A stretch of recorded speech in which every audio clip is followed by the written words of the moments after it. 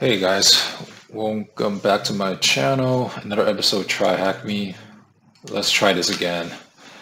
I tried recording this. First time didn't work out. But today is going to be upload vulnerabilities, the last room for to complete Web Fundamentals path.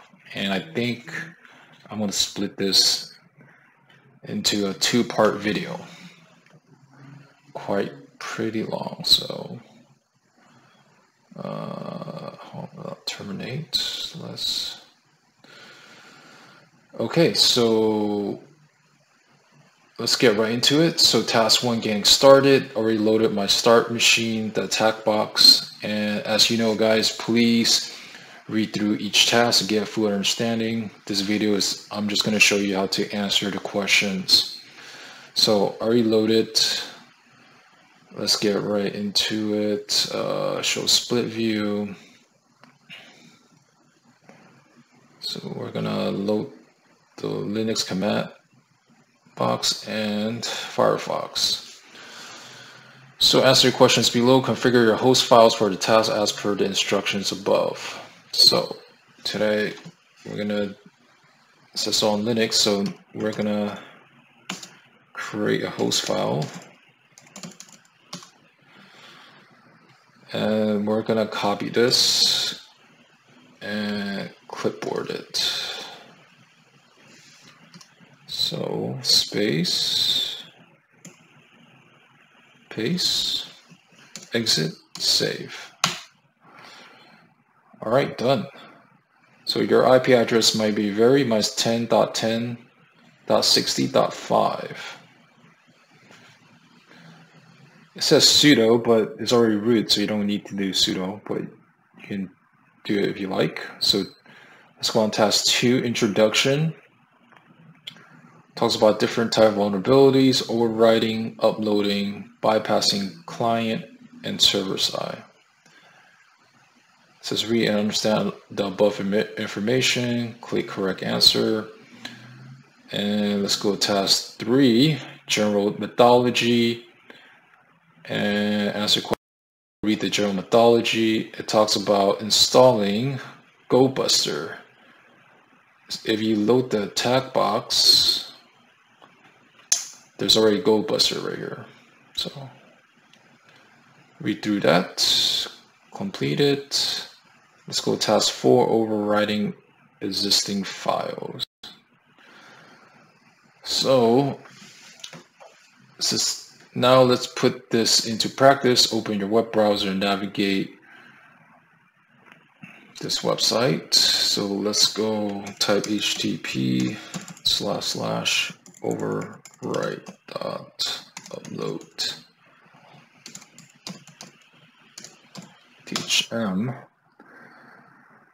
and your goal is to overwrite a file on the server with and upload your own. What is the name the image file can be overridden. Hint, check the source code. So let's close this out, close this out. Let's expand on this. Now you follow the example. It says right click the source code. So an example is a Spaniard JPG. So let's right click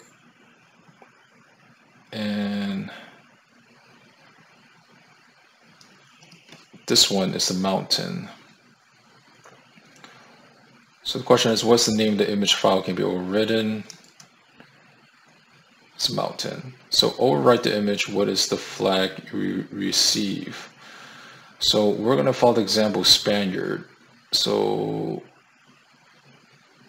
let's type Spaniards. Except all, let's go images and let's click this one. Let's right click save image as. So we're gonna rename it to mountains. We're gonna put on desktop. So, all right. So we're going to select a file and we're going to select mountains JPEG, but it's actually a Spaniard.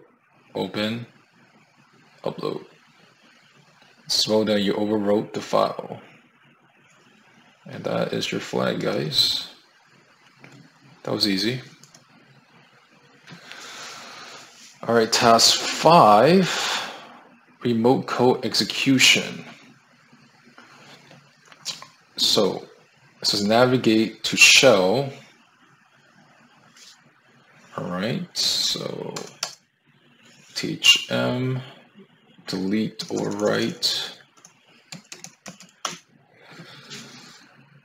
Okay, it says answer questions below. Run a GoBuster scan on the website using a syntax from the screenshot above. What directory looks like it might be used for uploads.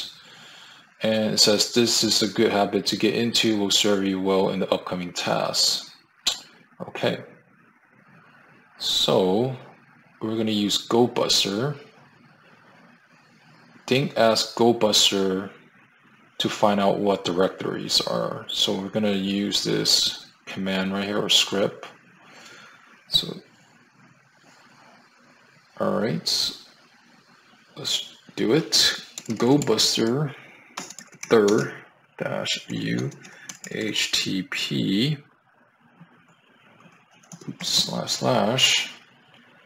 And I'm going to use our website. So it's going to be shell dot upload dot teach m dash. So slash usr share wordless third buster directory dash list dash 2.3 medium. Wait. Dash medium. Text file. All right looks like it works. The example is uploads assets and server status so we're going to check, it says resources and assets. So what we can do is check the link and that is the directory. So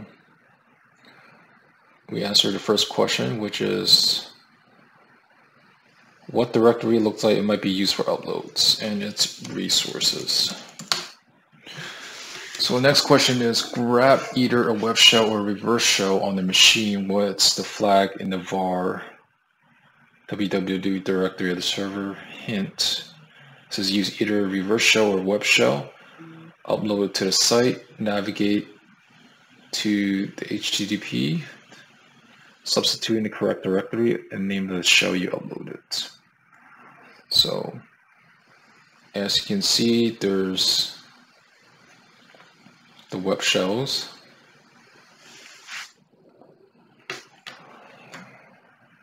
Or reverse shell. So I'm going to do the reverse shell. And it says you can download here. There's a link and goes to this G GitHub.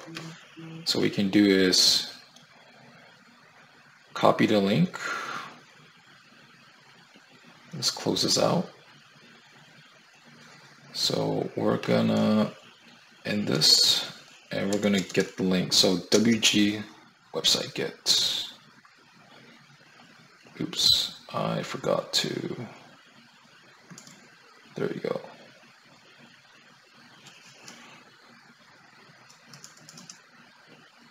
Paste this. There we go, guys. And you list it and that is the reverse shell PHP right here. So it says you will need to edit, change the IP address to the try hack me. So it's that attack box right here. Mine says 10.10.121.86.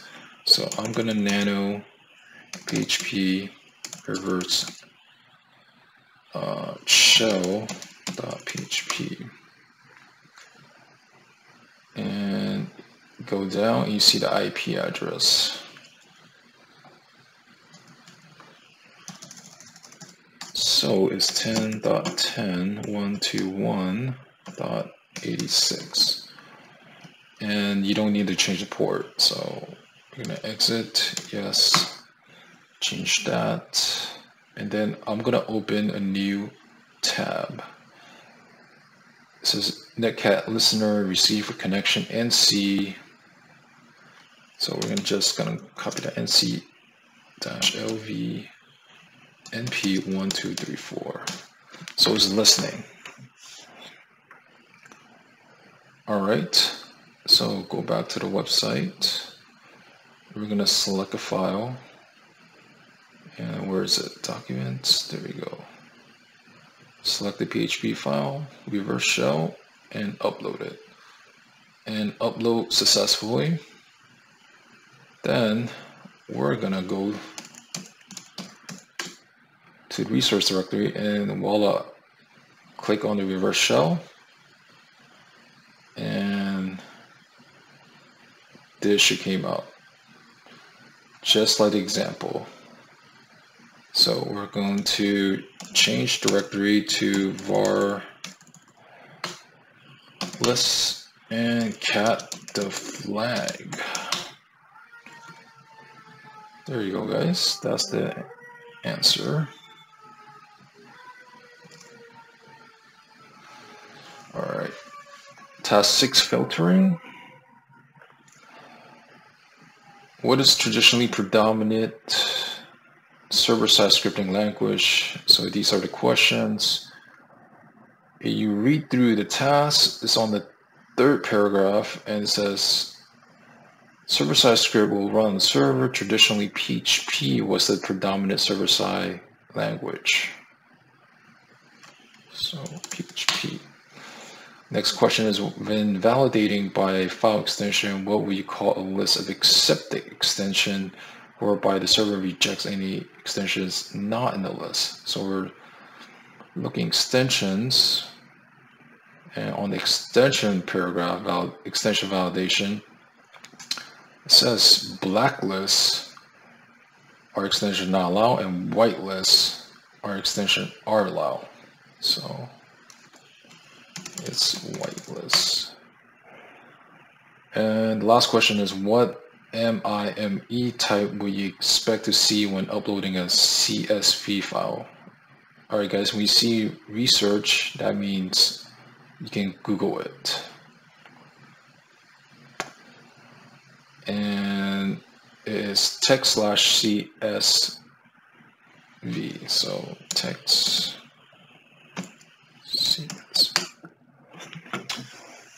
All right, guys, task six done. Uh, I'm gonna leave task seven to 12 on the part two video. So if you like this part one video, guys, please give a thumbs up, hit the subscribe button, hit the notification button. Uh, I'm gonna upload this video today, uh, October 18th, right away, and Friday I'm gonna upload part two, which is the last series of web fundamentals. And as you know, guys, uh, I do not have IT background, but this is something I like to do. And I hope you like my last videos of how I passed the A plus and the Security plus. I think the next video I'm gonna do the pen test. Well, I'm gonna do the CYSA A plus and the pen test because the next learning path is actually pen test plus. Anyways, guys, uh, till next video. Thanks for watching.